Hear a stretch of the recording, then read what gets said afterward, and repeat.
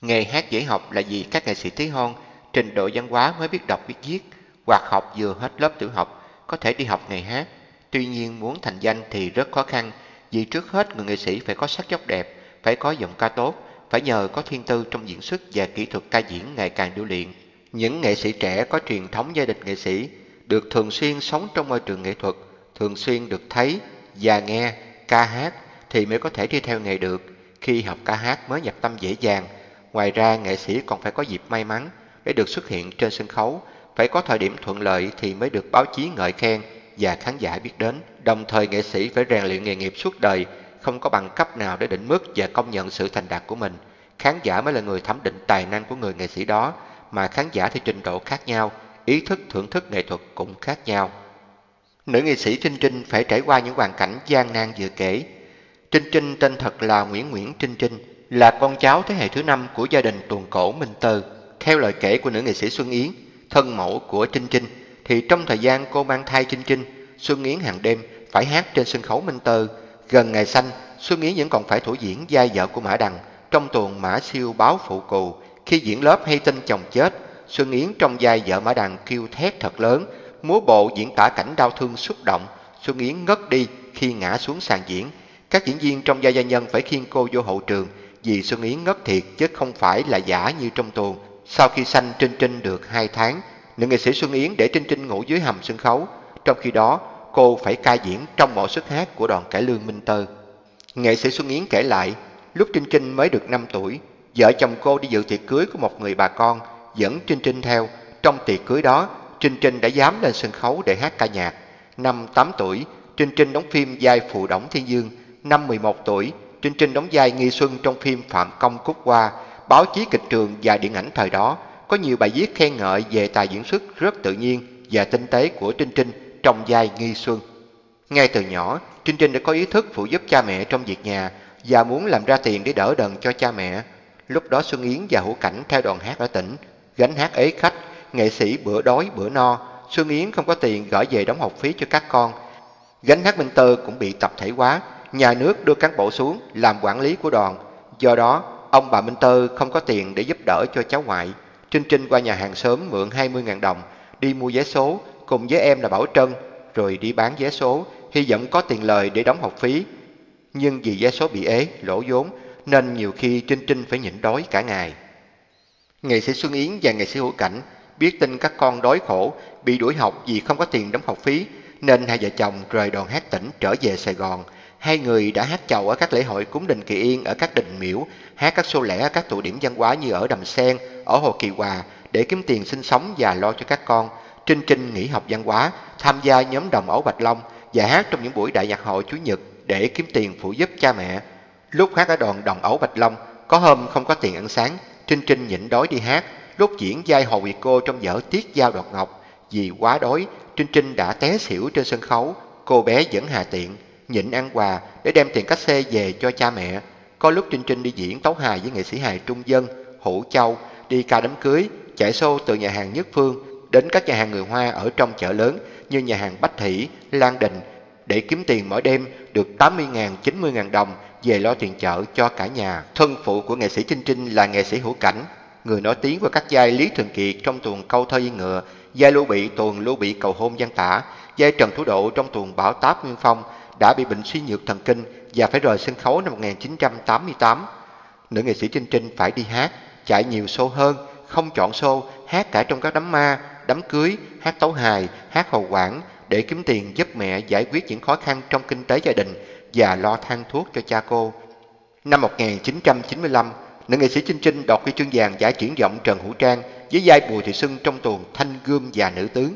Đêm thi năm đó, mặc dù đang lâm bệnh nặng, nghệ sĩ Hữu Cảnh vẫn đứng sau cánh gà, đọc lời thoại, hỗ trợ cho phần diễn xuất của Trinh Trinh. Khi nghe tin ban giám khảo tuyên bố Trinh Trinh đoạt huy chương vàng, hai cha con mừng rỡ, ôm nhau mà khóc, làm cả hội trường nhà hát Hòa Bình xúc động. Nghệ sĩ Hữu Cảnh nói, gia tộc mấy đời đi hát của Bầu Thắng, Minh Tơ, Thanh Tòng đã có các hậu vệ kế thừa để chúng tôi đặt niềm tin. Tôi có mệnh hệ nào, tôi cũng vui lòng nhắm mắt. Nữ nghệ sĩ Trinh Trinh có làn hơi mạnh mẽ, sắc dốc xinh đẹp, phong cách duyên dáng đầy nữ tính. Trinh Trinh có khả năng đóng xuất sắc tất cả các loại vai trên sân khấu, từ vai đào chánh, bi thương mùi mẫn đến những vai đào tính cách đào độc, đào lẳng và tất cả các vai đào võ quay hùng. Động tác chủ đạo tuồng cổ thật đẹp vì Trinh Trinh học nghệ thuật hát tuồng cổ từ các nghệ sĩ bậc thầy như nghệ sĩ Thanh Tòng, nghệ sĩ Hữu Cảnh, nghệ sĩ Xuân Yến, nghệ sĩ Bạch Mai và thầy Bạch Long. Năm 1995, khi cô đoạt huy chương vàng giải triển vọng Trần Hữu Trang, đoàn tuồng cổ Quỳnh Long, một đoàn cải lương đại bang, sau thời kỳ của Kim Tử Long, Ngọc Huyền, Minh Dương, Thanh Anh Tâm, Thoại Mỹ, Chân Hà, Chí Linh, Hồng Nhung đã mời cô về và chính thức giao cho cô hát chánh các vai trong các tuồng của đoàn này cùng với kép chiêu hùng khi cô vừa bước qua tuổi 18. Cô tham gia các vở như Sử án Phi Giao, Ngũ biến báo phu cù, Sở dân của giá, Mạnh lễ quân. Những năm sau này, Trinh Trinh cộng tác với nhiều đoàn hát khác nhau và diễn thêm nhiều vở như Lá sầu riêng, Sân khấu vàng nhà hát cái lương Trần Hữu Trang cùng với Minh Dương, Lệ Thủy, Úc Bạch Lan. Cô cũng tham gia nhóm xã hội hóa Vũ Lưng với các vai Phi Giao trong vở xử án Phi Giao, Chúc Anh Đài trong Lương Sơn Bá Chúc Anh Đài, Võ Tắc Thiên trong Võ Tắc Thiên và Thái Bình Công Chúa. Nữ nghệ sĩ Trinh Trinh có những vai hát để đời. Khán giả còn nhắc mãi Trinh Trinh trong vai Lý Thần Phi, tuồng Bích Dân Cung Kỳ Án, vai Thượng Dương Hoàng hậu, tuồng Câu Thơ Yên Ngựa. Trinh Trinh cũng để lại dấu ấn sâu sắc qua các vai Đoàn Hồng Loan trong tuồng Tô Hiến Thành Sử Án, giai Phi Giao trong tuồng xử Án Phi Giao, giai Trúc Anh Đài trong tuồng Lương Xương Bá Trúc Anh Đài. Trong năm 2008, nữ nghệ sĩ Trinh Trinh cũng thành công rực rỡ qua giai Hoàng Dung trong vở Chiếc áo thiên Nga, giai Phồn Y trong vở Lôi Vũ. Nữ nghệ sĩ Trinh Trinh nổi tiếng là người con hiếu thảo trong gia đình. Cô đã chấp nhận biểu diễn nhiều loại hình nghệ thuật sân khấu ngoài khả năng chuyên môn tuồng cổ của cô như là đi tấu hài, đi ca tân nhạc, đi hát trích đoạn, nhất là đi hát với các đoàn hát cải lương ở tỉnh. Cô phải chịu cực, chịu khổ vì đi hát trong các làng mạc xa xôi. Hát ở tỉnh nhiều khi điều kiện thiếu thốn và không được khán giả khắp nơi biết đến, nhưng cô chấp nhận làm hết sức mình để mong có thu nhập cao để giúp cho cha mẹ và các em khi mà cha cô lâm bệnh nặng, mẹ cô không thể tiếp tục đi hát. Cô là trụ cột để kề vai gánh giác gánh nặng của gia đình. Điều không may mắn cho nữ nghệ sĩ Trinh Trinh là cô không có một nam bạn diễn đồng thanh đồng sắc, đồng tài nghệ như các bạn nữ diễn viên khác. Các nghệ sĩ như Tài Linh, Thanh Thanh Tâm có nam diễn viên Vũ Linh, Tú Sương thì có Vũ Luân, Mỹ Châu thì có Minh Phụng, Lệ Thủy thì có Minh Dương, Thanh Ngân có Kim Tiểu Long, Thoại Mỹ có Kim Tử Long, dân dân. Nữ nghệ sĩ Trinh Trinh chưa có một bạn diễn đẹp đôi cho riêng mình, đó cũng là một thiệt thòi đáng kể. Tuy nhiên, lúc nào Trinh Trinh cũng cố gắng trên con đường nghệ thuật, cố gắng ca diễn hay hơn, cố gắng hoàn thiện bản thân mình hơn trong từng vai diễn để đáp lại tấm lòng ái mộ của khán giả và các bạn nghệ sĩ dành cho cô. Hiện nay, cô đã kết hôn với nghệ sĩ Kim Tử Long, hơn cô 11 tuổi. Nữ nghệ sĩ thừa nhận cô gặp rất nhiều trở ngại khi kết hôn cùng Kim Tử Long, không chỉ vì anh đã từng có hai đời vợ và ba đứa con gái riêng, mà còn vì khoảng cách tuổi đời, tuổi nghề giữa hai người khá lớn, vì cô luôn gọi Kim Tử Long là chú. Nhưng mối tình nhiều trắc trở giữa Kim Tử Long và Trinh Trinh không phải chỉ đơn giản là khoảng cách tuổi tác. Nam nghệ sĩ lúc bấy giờ vốn mang danh Đào Hoa, sau khi chia tay với người vợ thứ hai, anh bắt đầu đeo đuổi Trinh Trinh, khiến cho cô lo sợ và nghĩ rằng anh đang đùa giỡn với mình. Bản thân tôi chứng kiến rất nhiều mối tình của anh Long và tôi xem mọi thứ rất bình thường, nhưng chưa bao giờ nghĩ đến một lúc nào đó tôi và anh ấy thành đôi, giống như là mơ vậy. Khi anh Long chính thức nói chuyện với gia đình tôi, kể với tôi về quá khứ của anh, lúc đó tôi mới dám xác nhận đó là tình yêu thật sự mà anh ấy dành cho tôi. Nhưng khi họ bắt đầu mở lòng đón nhận đối phương, thì cũng là lúc phải vượt qua nhiều thử thách trong gai đến từ bên ngoài. Trinh Trinh tiết lộ, từng có rất nhiều người nhắn tin mắng chị là giật chồng. Nhiều người còn cho rằng chị đào mỏ chị quá nghèo, nhưng họ không biết rằng sau khi đổ vỡ cùng người vợ thứ hai, Kim Tử Long không có gì trong tay cả. Thời điểm đó, Trinh Trinh và Kim Tử Long mới từ từ dung đắp cho đến tận bây giờ. Vì vậy, nữ nghệ sĩ không quan tâm nhiều đến những người xa lạ dèm pha mình, nhưng những người bạn thân chung quanh cô cũng không hoàn toàn ủng hộ. Họ lo lắng cho nữ nghệ sĩ, sợ chị gặp gãy đổ khi đến với nghệ sĩ Kim Tử Long, vượt qua những rào cản bên ngoài. Trinh Trinh lại phải đối mặt với cuộc sống mẹ kế con chồng, vốn được người đời xem chẳng mấy thuận hòa. Đặc biệt là con gái lớn của nghệ sĩ Kim Tử Long, chỉ cách Trinh Trinh có 11 tuổi và nghe rất nhiều lời đồng đại chẳng mấy hay ho về mẹ kế tương lai. Lúc bấy giờ, Trinh Trinh chọn cách đối diện với những tin đồn, trò chuyện và giải thích cho con gái riêng hiểu về mình. Nữ nghệ sĩ tâm niệm khi đến với Kim Tử Long, chỉ thương chồng thì cũng phải thương con của chồng, vì anh đang cần một người phụ nữ để lo cho các con của mình. Không chỉ luôn quan tâm đến các con, tế nhị khi góp ý với chúng, Trinh Trinh còn luôn đặt bản thân vào vị trí của các con, xem chúng như những người bạn để có thể tâm sự và chia sẻ. Đáp lại sự chân thành của nghệ sĩ Trinh Trinh là sự đón nhận của ba người con riêng dành cho chị. Khi các cháu ngày một lớn thì suy nghĩ của chúng cũng khác đi, nên để giữ mối quan hệ mẹ kế con chồng luôn hòa thuận vui vẻ thì điều quan trọng nhất là tôn trọng lẫn nhau, nữ nghệ sĩ chia sẻ. Không chỉ được con riêng của chồng yêu quý, Trinh Trinh còn có mối quan hệ rất tốt với hai người vợ cũ của chồng. Nữ nghệ sĩ tiết lộ, thỉnh thoảng mình vẫn nói chuyện, đi ăn cùng nhau và gửi gắm việc chăm sóc con cái. Trinh Trinh còn đặc biệt tiết lộ Kim Tử Long bên ngoài là một người đàn ông nhẹ nhàng, dễ gây cảm tình với người đối diện. Nhưng ở nhà, anh lại là một người khó tính, đặc biệt là trong nghệ thuật. Nhiều lúc bị ông xả la mà chị chỉ biết đứng sững, khóc trên sân khấu. Không chỉ trong nghệ thuật, bây giờ ở nhà anh ấy cũng rất nóng tính, hay quát mắng. Hồi xưa anh ấy dễ bao nhiêu, thì giờ càng lớn càng khó bấy nhiêu. Thậm chí anh ấy cũng tự nhận bản thân bây giờ đã thay đổi rất nhiều. Chia sẻ về việc gắn bó với người chồng hơn mình 11 tuổi và trải qua hai cuộc hôn nhân, nghệ sĩ Trinh Trinh nói, trước khi yêu, chúng tôi đã ngồi lại trao đổi về quá khứ, cả hai dần hiểu nhau hơn. Tôi bước qua tất cả để đến với anh. Có nhiều người bảo tôi đào mỏ nhưng không hề có. Tôi yêu anh Long là thật, xác định đến với anh là sống cả đời chứ không phải một vài ngày. Cũng có người nói vì sao lấy chồng nhiều tuổi như vậy. Tôi nghĩ đó là chuyện bình thường. Có những mối tình hơn kém nhau rất nhiều tuổi nhưng vẫn hạnh phúc bởi do duyên nợ. Tôi và anh Long đều có cái duyên nợ đó nên mới đến được với nhau. Cả hai không quan trọng tuổi tác, chỉ cần chung sống bình yên, hạnh phúc như hiện tại là đủ. Nói về nghệ sĩ Kim Tử Long, nghệ sĩ Trinh Trinh trải lòng. Chồng tôi rất tâm lý, anh đi công tác hay đi du lịch thường mua quà tặng tôi. Những món quà rất đơn giản nhưng cho thấy sự quan tâm của chồng đối với mình. Thậm chí anh mua cho tôi những bộ đồ ngủ, đồ dùng để nấu ăn.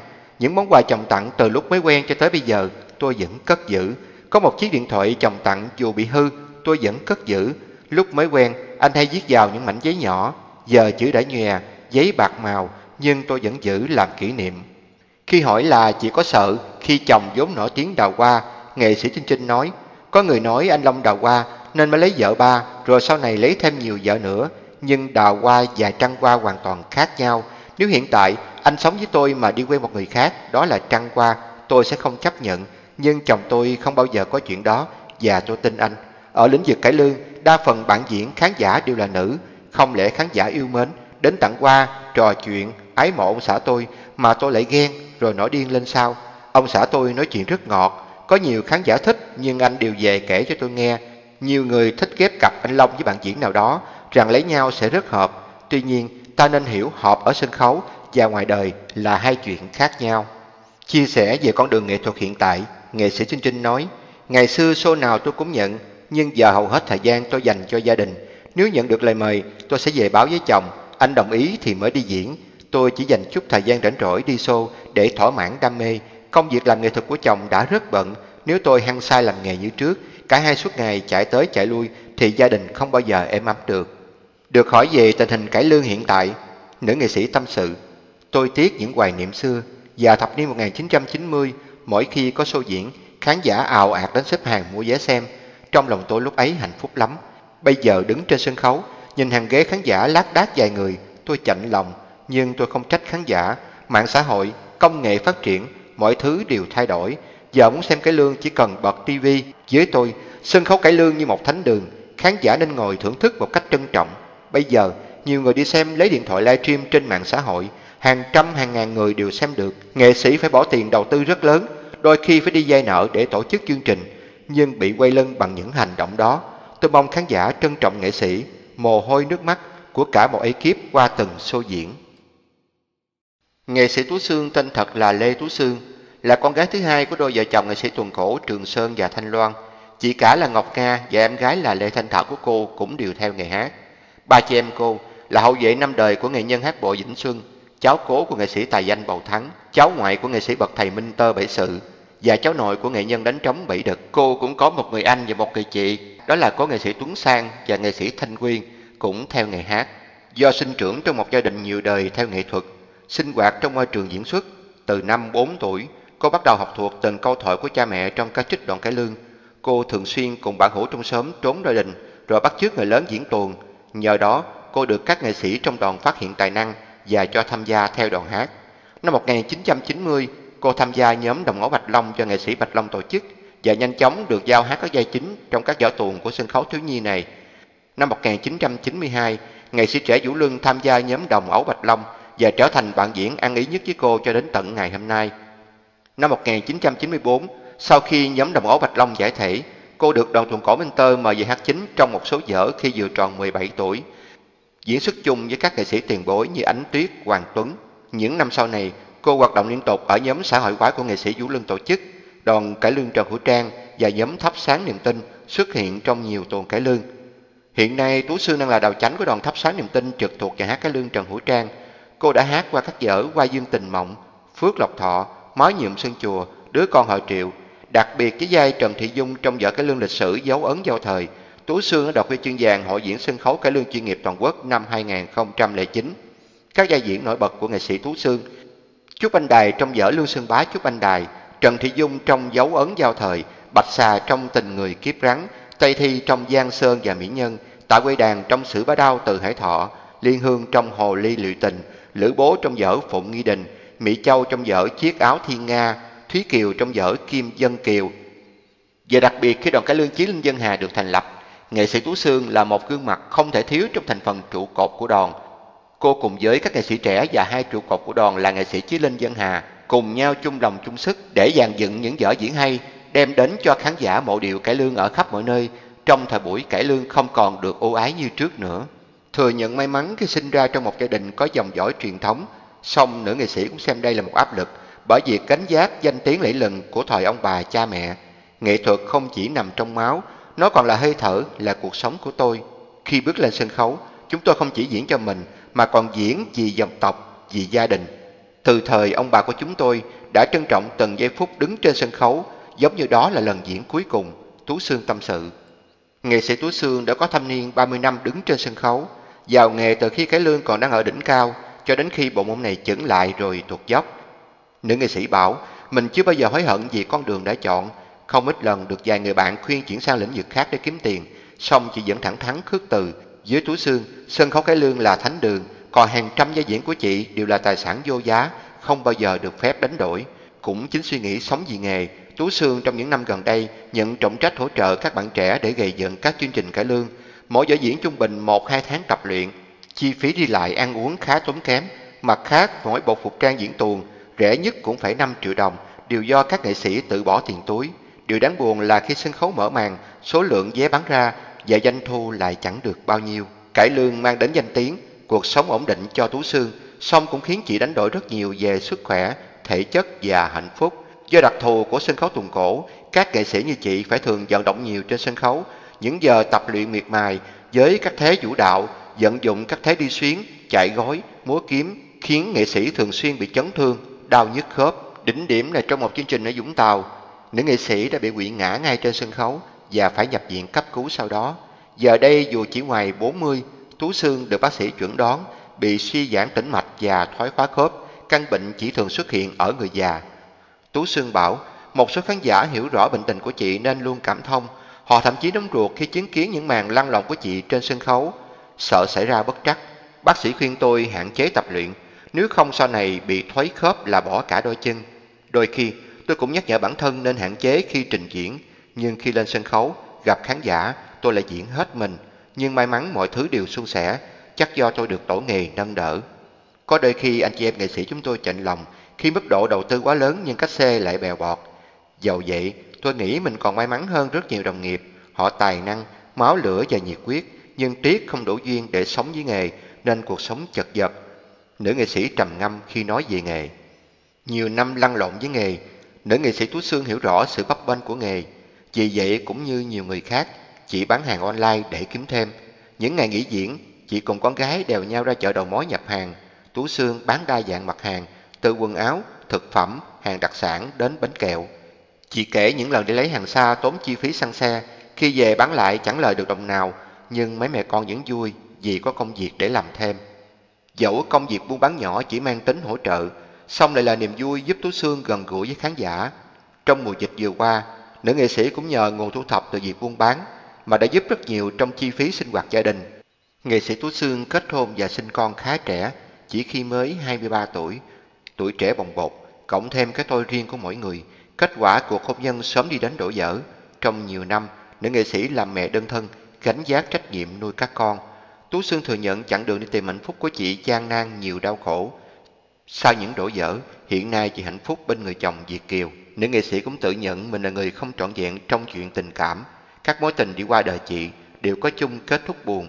Nỗi đa sầu đa cảm của một người phụ nữ sau những chuyện hợp tan khiến cho chị có một thời gian rơi vào trạng thái trầm cảm. Có lần Tú Sương đau khổ đến mức nghĩ đến chuyện tự giận cho xong.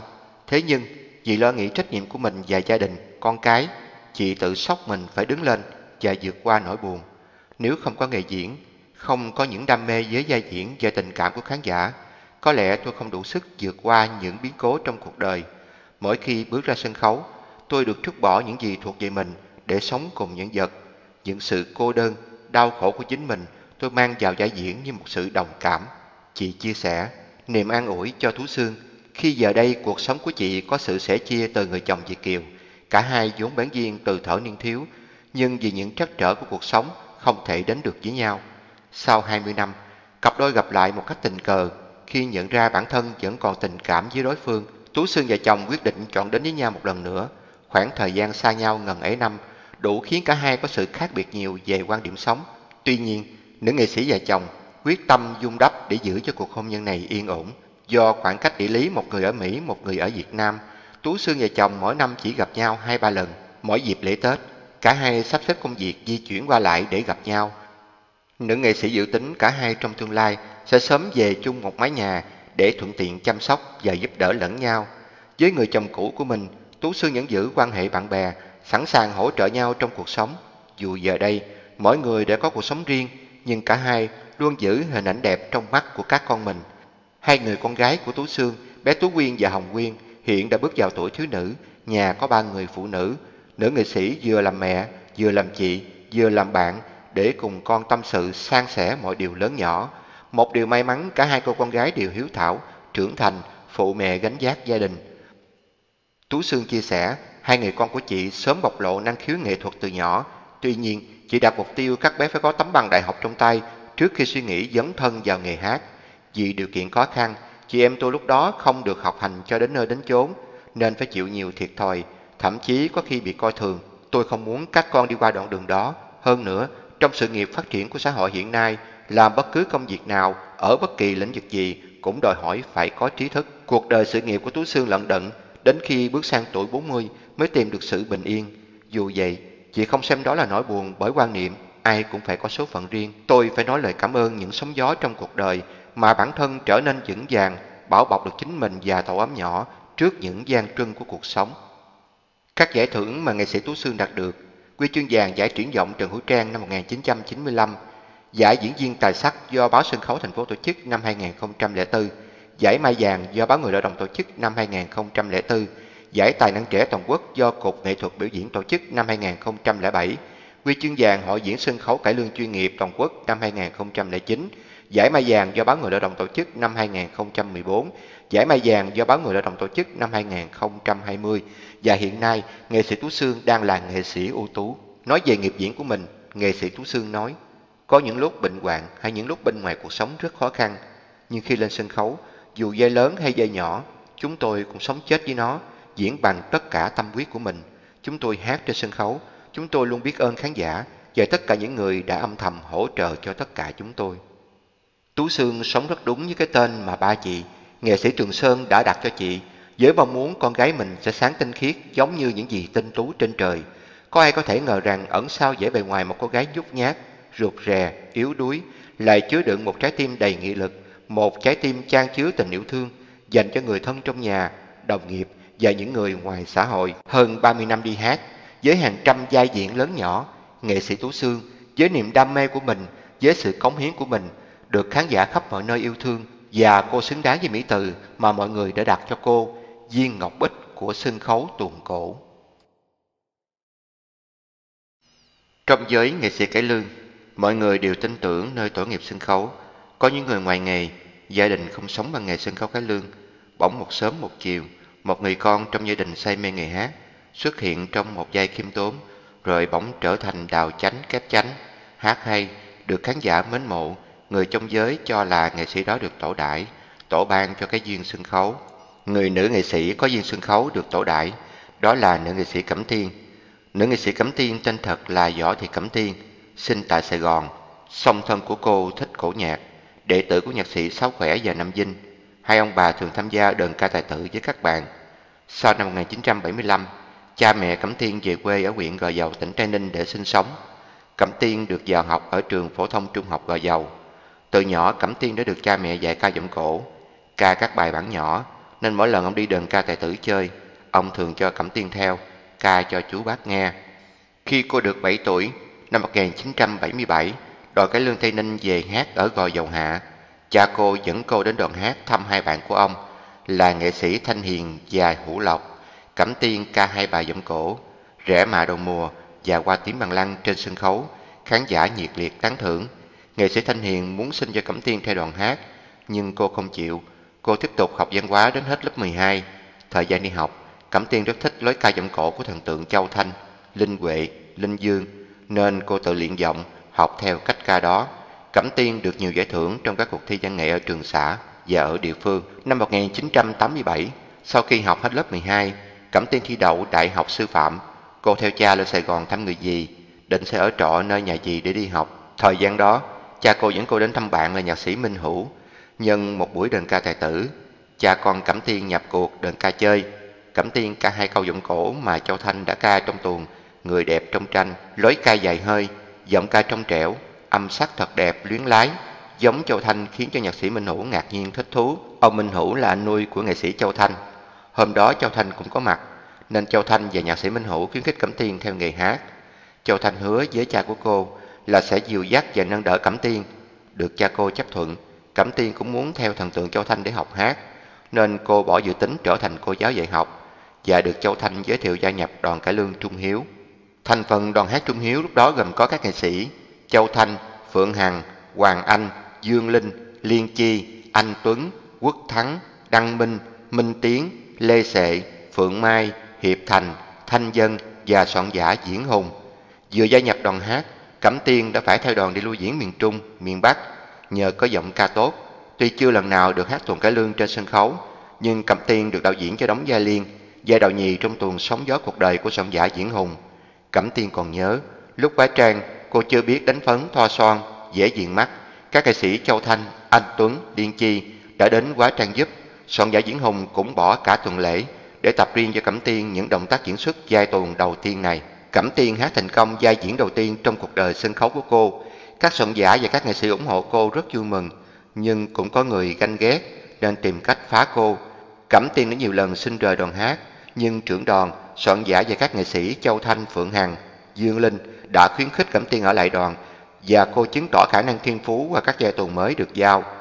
Cẩm Tiên liên tiếp thành công một cách xuất sắc các giai diễn đầu nhì, sau đầu chánh của Phượng Hằng như giai Hường trong tuần vụ án Mã Ngu, giai Dung trong tuần Đồng Tiền Đẫm Máu.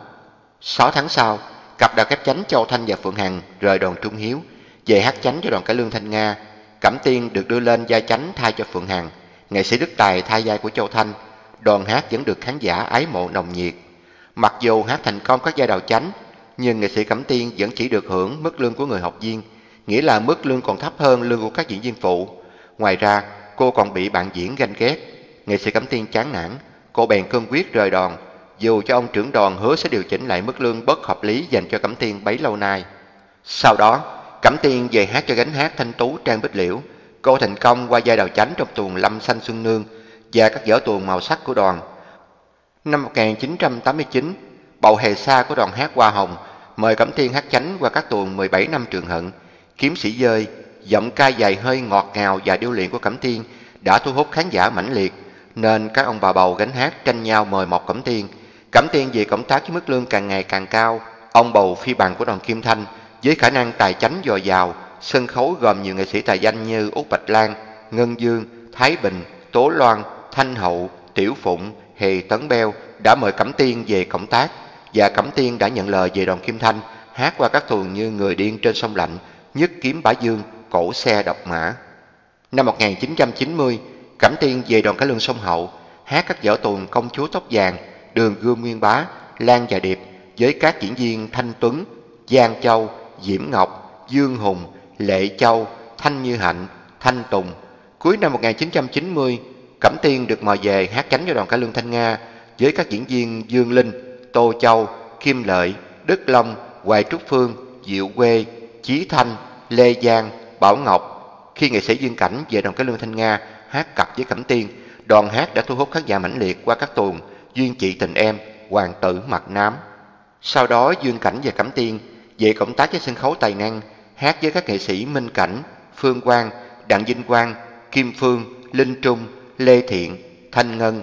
Đến khi đoàn đổi tên là Nhà hát Cái Lương Trần Hữu Trang 2, Cẩm Tiên và Dương Cảnh vẫn là đôi diễn viên được yêu thích nhất trong các năm 1991, 1992 và 1993. Năm 1995, Cẩm Tiên đoạt huy chương vàng giải chuyển giọng Trần Hữu Trang. Năm 2005, Cẩm Tiên đoạt huy chương vàng hội diễn sân khấu cải lương chuyên nghiệp toàn quốc. Từ năm 1992, Cẩm Tiên quyết định thay đổi lối sống đời thường của một nghệ sĩ cải lương như bấy lâu nay cô đã sống. Cẩm Tiên sáng đi tập thể dục, đi thu audio hoặc đi tập tuồng, chiều đi học ánh văn, tối đi hát ở Đầm Sen, công viên Phú Lâm hoặc sân khấu đồ hoa vàng Kỳ Hòa. Cẩm Tiên cũng có nghề tay trái là phó giám đốc công ty xử lý môi trường, trực tiếp ký những hợp đồng xử lý nguồn nước bị nhiễm phèn tại các vùng sâu, vùng xa của tỉnh Cà Mau. Mặc dù bận biểu với công việc, nhưng Cẩm Tiên vẫn không từ chối bất cứ một show diễn nào, dẫn những chuyến lưu diễn với các đoàn hát, dẫn một niềm đam mê khi được quá thân vào các vai diễn. Cẩm Tiên vẫn lo tròn nhiệm vụ kinh doanh của công ty. Cẩm Tiên thường đóng cặp với các diễn viên tài danh như Minh Dương, Minh Cảnh, Thanh Tuấn, Phương Quang. Rồi có một khán giả Việt Kiều quốc tịch Mỹ xem video, nghe các băng nhạc có giọng ca quyến rũ của Cẩm Tiên. Ông du lịch về quê hương nhiều lần, tìm cách làm quen với Cẩm Tiên và nhờ gia đình đứng ra xin cưới Cẩm Tiên. Cô cũng xúc động trước tấm chân tình của người yêu tiếng hát của mình. Sau một thời gian dò hỏi kỹ về gia đình, tánh tình cũng như lối sống của người khán giả thân thương đó, Cẩm Tiên đã quyết định đi đến hôn nhân. Về gia đình, thì ngoài Cẩm Tiên theo nghiệp ca diễn, còn có anh của cô là Võ Hiệp, là nhạc sĩ organ của đoàn Trần Hữu Trang, và em trai của cô là Võ Thành Nhàn, nhạc sĩ guitar cổ nhạc ở đoàn cái lương Hương Bưởi. Chỉ có người em út của Cẩm Tiên là Võ Thị Cát Tiên làm nghề uống tóc. Nhờ có làn hơi mượt mà, giọng ca trữ tình, với một vẻ đẹp thanh tú dịu hiền và một ý chí sắt đá trong việc học nghề, gặp biết bao nhiêu khó khăn trở ngại, Cẩm Tiên vẫn không nản chí. Cẩm Tiên gặt hái được nhiều thành công, những vinh quang trong nghề nghiệp và đạt được hạnh phúc gia đình riêng mà các nghệ sĩ khác hằng ngưỡng mộ và mơ ước. Đối với nghệ sĩ Cẩm Tiên, có một sự nghiệp luôn thăng hoa, một mái ấm gia đình hạnh phúc, viên mãn, thật sự chị không còn biết phải đòi hỏi gì thêm. Hiện tại, chị đang sống rất hạnh phúc bên anh Lâm Đức, ông xã của mình. Anh Lâm Đức là Việt Kiều Canada, đầu tư kinh doanh bất động sản và khách sạn, đồng thời là bạn của nghệ sĩ Châu Thanh. Nhắc về kỷ niệm này, ông xã của nghệ sĩ Cẩm Tiên nói, trong một lần Cẩm Tiên đi hát ở chùa Giác Lâm quận 11, Châu Thanh đã đánh tiếng cho hai người quen nhau. Rồi dần dần, tôi thấy cổ có tánh đàn ông, đó là thế mạnh của một người làm kinh doanh. Hơn nữa, ngoài sắc đẹp, giọng hát, thì tính chân thật của cổ khiến tôi so lòng. Về lại Canada, tôi kể chuyện cho mẹ tôi nghe. Bà bảo người như vậy mà không chịu cưới. Tôi quay lại Việt Nam, cứ thấy đêm đêm ba cổ chở cổ đi hát là tôi yêu lắm. Nhưng để cho chắc ăn, tôi đưa cổ về Canada, mở cửa hàng kinh doanh băng đĩa lớn nhất Toronto cho cổ lập nghiệp. Nhưng sau 6 tháng, cô ấy thừa nhận cải lương chỉ tồn tại ở Việt Nam, nên muốn về quê hương. Thuyền không theo lái, thì lái phải theo thuyền. Vậy là tôi theo nàng về Việt Nam, sống cho tới bây giờ, anh Đức tâm sự. Nghệ sĩ Cẩm Tiên không chỉ là một nghệ sĩ cải lương tài danh nổi tiếng, một doanh nhân thành đạt, còn là một người mẹ, một người vợ thủy chung. Nghệ sĩ Cẩm Tiên có hai người con, Lâm Đức Quy hiện sống tại Canada, là con trai riêng của chồng, và con gái Lâm Tiên Kim, 15 tuổi sống cùng cha mẹ tại Việt Nam. Chính vì tính chất nghề diễn thường vắng nhà thường xuyên và muốn tạo môi trường học tập tốt nhất cho hai con, mà ngoài thời gian đi hát, kinh doanh, làm từ thiện, Cẩm Tiên luôn dành thời gian làm bạn với các con và chỉ đã thành công khi có hai con luôn biết lắng nghe lời cha mẹ. Hàng ngày, sau khi công việc hoàn tất, Cẩm Tiên luôn dành hàng giờ để chuyện trò cùng con trai ở Canada. Vì vậy, dù sinh ra và lớn lên ở Canada, nhưng con trai của nghệ sĩ Cẩm Tiên biết nói và biết viết tiếng Việt rất rành rọt. Mỗi khi hè về, Cẩm Tiên hay cho con trai về Việt Nam rong ruổi cùng mẹ đi khắp nơi. Về phần con gái, Cẩm Tiên được bà ngoại chăm con phụ, nhưng cô vẫn thường xuyên dành thời gian đón con đi học về, cuối tuần đi chơi với con để lắng nghe tâm sự của con. Cẩm Tiên mừng vì con gái ngoan, học giỏi nhất khối từ nhỏ đến giờ. Khi con làm lỗi, cô tận tình giải thích mọi thứ để con hiểu, mà sửa đổi những lỗi lầm của mình. Đối với con, cô xem đó là những người bạn để cùng chia sẻ, tâm sự và cùng cảm thông cho nhau. Vợ chồng nghệ sĩ Cẩm Tiên thường thích thân đi đến những nơi xa xôi, những ngôi chùa đang nuôi dạy những đứa trẻ mồ côi, bệnh tật, đau yếu bị bỏ rơi.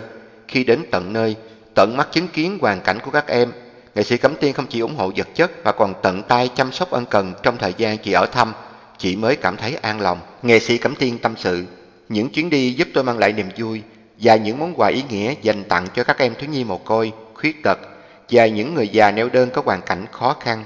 Yêu thương cho đi là yêu thương nhận lại. Tôi cảm thấy ấm áp tình thương khi hoạt động thiện nguyện của mình đã mang đến niềm vui, nụ cười cho những mảnh đời kém may mắn.